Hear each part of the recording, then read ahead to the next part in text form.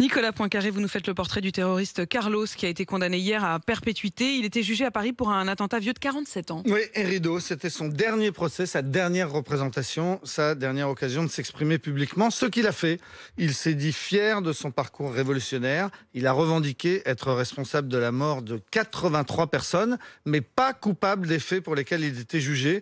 La Cour d'assises spéciale l'a tout de même condamné à perpétuité pour ces faits, c'est-à-dire pour cet attentat, pour avoir jeté une grenade au drugstore Publicis, une galerie marchande de Saint-Germain-des-Prés à Paris. C'était en 1974. Il y avait eu deux morts et quatre blessés. À l'énoncé du verdict, Carlos a simplement dit merci beaucoup avant de repartir vers le centre de détention de Poissy, où il purge désormais à 71 ans trois peines de prison à perpétuité. Carlos, c'est le plus célèbre des terroristes pro-palestiniens des années 70. Oui, de son vrai nom, Ilich Ramirez Sanchez, un Vénézuélien, fils d'une famille bourgeoise et communiste. Il a fait des études à Londres puis à Moscou. Il s'est ensuite rendu au Proche-Orient où il a créé le FPLP, le Front populaire de libération de la, de la Palestine. Il a organisé des attentats à Londres, à Paris, il a abattu deux inspecteurs de police, à l'aéroport d'Orly, il a tiré au bazooka sur des avions de la compagnie israélienne El Al. Il l'a fait deux fois. Et puis surtout, euh, son grand acte, c'est passé à, à, Vienne, la, plus, la très spectaculaire prise d'otages de l'OPEP,